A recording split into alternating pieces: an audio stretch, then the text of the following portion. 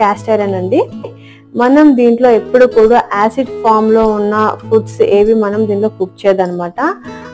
చింతపండు కానీ టమాటో కానీ నిమ్మకాయ కానీ ఇంకా ఇంకేవైనా యాసిడ్ ఫామ్లో ఉన్న ఫుడ్స్ యాసిడ్ నేచర్లో ఉన్న ఫుడ్స్ ఏవి కూడా దీంట్లో మనం వాడద్దు.